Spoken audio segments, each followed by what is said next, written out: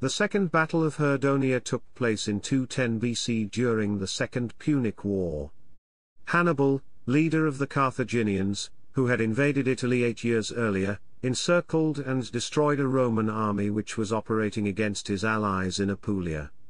The heavy defeat increased the war's burden on Rome and, piled on previous military disasters, aggravated the relations with her exhausted Italian allies. For Hannibal the battle was a tactical success, but did not halt for long the Roman advance. Within the next three years the Romans reconquered most of the territories and cities lost at the beginning of the war and pushed the Carthaginian general to the southwestern end of the Apennine Peninsula. The battle was the last Carthaginian victory of the war, all battles which followed were either inconclusive or Roman victories. Chapter 1 Controversy among Historians There is a controversy among modern historians arising from the narrative of Titus Livius, the major source of this event, who describes two battles taking place in the span of two years at the same place between Hannibal and Roman commanders with similar names. Some state that there was just one battle in fact, but there is no general agreement on this issue. Chapter 2 Developments in southern Italy until 210 BC. Following his incursion into southern Italy in 217 BC, Hannibal defeated the Roman forces in the Battle of Cannae. This victory brought him a host of new allies from Campania, Samnium, Apulia, Lucania, Bruttium, and Magna Graecia, who revolted from Rome enticed by his narrative of Roman oppression. One of these allies was the city of Herdonia in northern Apulia. It was the site of a general engagement between Hannibal and the Romans already in 212 BC, because despite the severe defeats on the battlefield, Rome still managed to preserve intact the core of its system of alliances in Italy and continued to mount a slow but steady counter-offensive. The First Battle of Herdonia ended with the almost total annihilation of the troops led by the praetor Gnaeus Fulvius Flaccus. However Flaccus' army was just a fraction of the forces fielded by Rome. The siege of Capua, which had begun years before, ended in 211 BC with the fall of the largest city that had taken the side of Hannibal after Cannae. The Carthaginians' inability to defend Capua reversed the mood among many of his allies and Hannibal's position began to weaken. Chapter 3 Marcellus' successes and Centumalus' demise. The Roman advance in southern Italy continued in 210 BC. Two armies stood against Hannibal in Apulia. One was under the consul Marcus Claudius Marcellus. The proconsul Gnaeus Fulvius Centumalus commanded the other.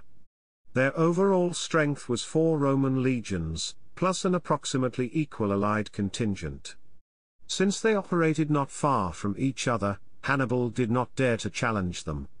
This allowed Marcellus to capture the city of Salapia, that was betrayed to him by a fraction of its citizens, and to destroy the Carthaginian garrison. Following this setback, Hannibal retreated and a rumor was spread that he was going away to Bruttium.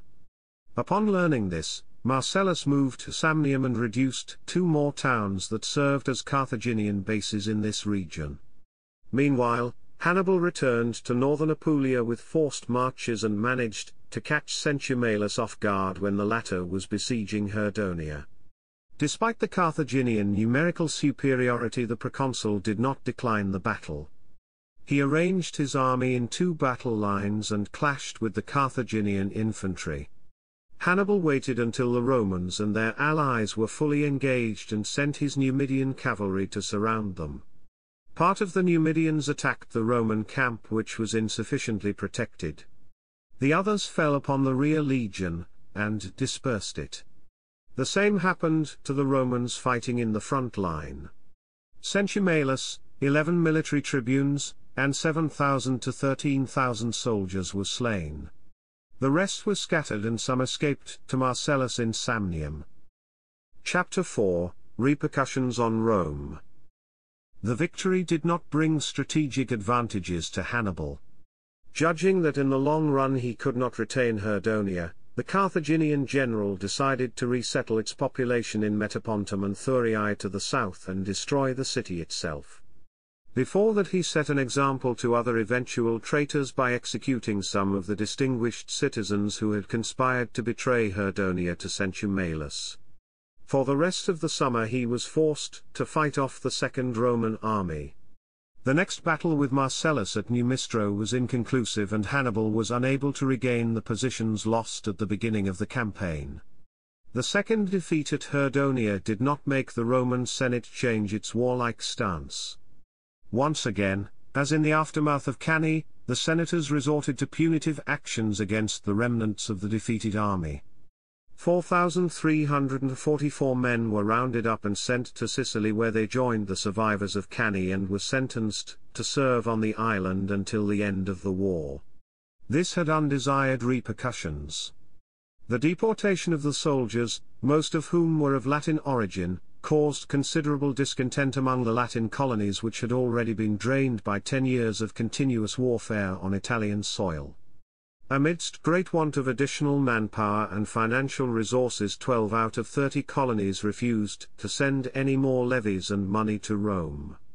This crisis continued for five years and put severe strain on the Roman war effort. Chapter 5 Sources Note, all links to online sources were active on October 26, 2007. Appian, Roman History, The Hannibalic War, Livius Articles on Ancient History. Eutropius, Abridgment of Roman History, Book 3, available on Corpus Scriptorum Latinorum, a digital library of Latin literature. Livius, Titus, The History of Rome, Volume 4, University of Virginia Library Electronic Text Center. Caven, Brian, The Punic Wars, Weidenfeld, and Nicolson, London 1980, ISBN 0297 77633 9. Delbrück, Hans, Geschichte der Kriegskunst im Rahmen der politischen Geschichte, ITIL, Das Altertum, Walter de Gruyter and Company, Berlin 1964. Smith, William, Dictionary of Greek and Roman Biography and Mythology, University of Michigan. Shepherd, William, Historical Atlas New York, Henry Holt and Company, 1911.